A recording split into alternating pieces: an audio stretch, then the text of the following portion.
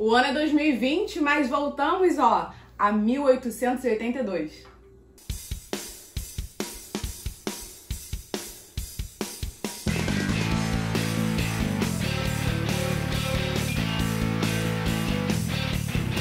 É isso aí, galera. 82. 80, 1882, ano de fundação da Black Prince.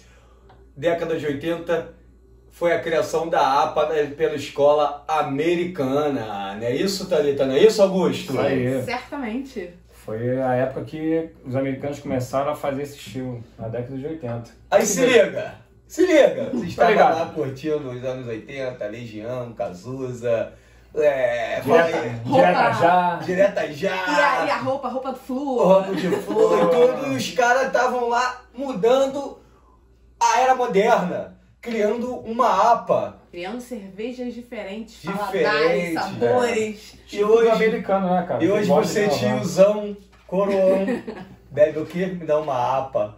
Me dá uma APA. Verdade.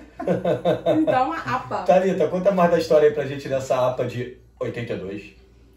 Cara, então, foi uma criação de americanos que, na verdade, a APA é uma variação da, da IPA, que é uma, uma cerveja inglesa, de criação inglesa, aquela história do, que tacou mais lúpulo né, durante as navegações pra cerveja não estragar. É isso E os americanos, brilhantemente, criaram uma versão dessa receita com lúpulos americanos. Então, ó, vamos experimentar aqui. É, tentando fazer algo mais refrescante, Sim, nem um tom tá amargo. trazendo um, um- É, um- o americano gosta de brincar com Toque isso. americano, né, cara? Escola trazendo, americana trazendo, trazendo mais cítrico pra cerveja, não tão terrosa e tão. Você já ouviu americano falar... saiu do clássico para fazer os Você experimentos. já ouviu né? falar da Revolução Industrial? Teve a Revolução Cervejeira com a escola americana, É isso né? aí. Isso aí. É mais ou menos isso.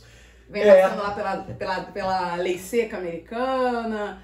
E aí, graças a Deus, isso passou. Passou. E tivemos agora o privilégio de poder usufruir dessas belezuras, desses espetáculos da Sabe também natureza. qual é a melhor escola? Ah, A escola brasileira que aproveita isso tudo, se reinventa também, coloca muita, muitos ingredientes nacionais, a gente nós experimentamos aí ao longo dos nossos é vídeos. verdade. E a gente curte tudo, sem preconceito, só beber, com moderação. Né, Augusto? Faça as honras aí pra gente, por favor. Apresente-nos o seu serviço. Ah, é.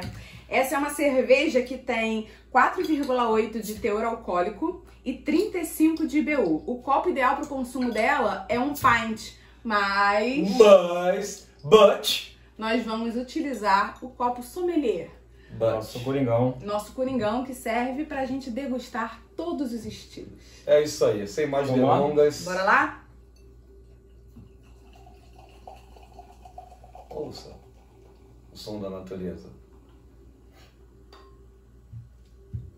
Cerveja bonita, hein? Cara, cerveja bonita e eu preciso relatar um trabalho perfeito feito pelo barman Baez. Olha o copo, limpíssimo. As bolhas subiram, não grudaram no copo, que às vezes você tem que dar aquela disfarçada assim, né? Esse não precisou. Pra galera É. que acha É. que, que as bolinhas são carbonatação, né? Não, é sujeira no copo, tá? É verdade, aquelas aí. que ficam grudadas na parede do É. copo, né? E é isso, gente. Vamos, vamos brindar? Saúde. Saúde. Aromática.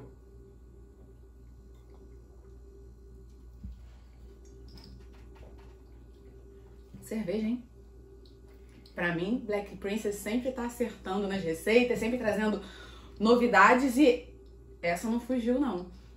Uma cerveja, vou começar? Pode Pode falar. Cerveja com bastante, bastante identidade americana, tá? Ela tem o lúpulo dela você- é bem presente e muito puxado para as frutas amarelas, pro cítrico mesmo, bastante aromática. Pra mim, uma cerveja espetacular, alto drinkability, refrescante, dá pra você ficar, ó, na resenha com os amigos aí, ó, a tarde toda, vai Sim, virando a sim. noite, não é? É isso aí. Renato, que- e aí, minha nota, eu dou uma nota 9.9. Renato, o que, que tu lembra? O que, que ela te lembra? O que, que te remete uma cerveja como essa, Renato? Poxa, Thalita, estava aqui pensando nisso. Estou lá assistindo a partida de futebol com meus amigos, como você falou, com o Drinkability. Aquele jogo pegado, pegado. Você não quer cerveja nem muito leve, nem muito pesada, que quer prestar atenção no jogo, pá! Aparece essa apa. com água, malte, lúpulo e levedura. Sem antioxidantes. Cervejinha aí no estilo que a Thalita falou, ela preenche todos os requisitos, entrega o que ela quer, sem, sem enganar o consumidor.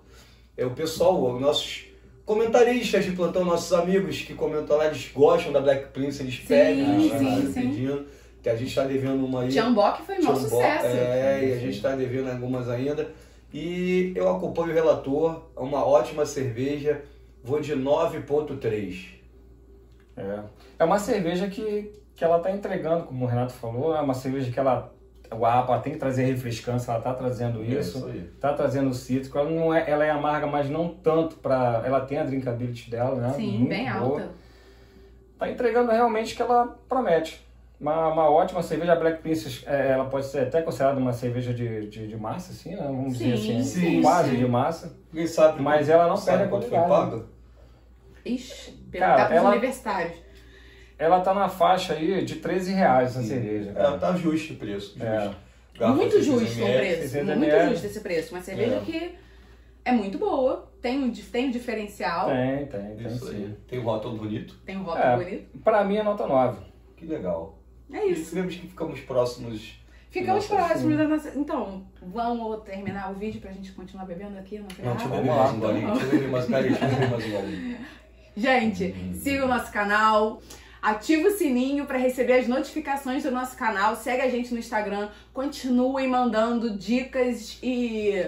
E veja o anúncio Acom- que é direcionado para você até o final. É É, importante aí. para nós. E continua com a gente nesse ano que tá só começando e vem muita novidade por aí. Carnaval vem aí, meu Deus, o que aprontaremos?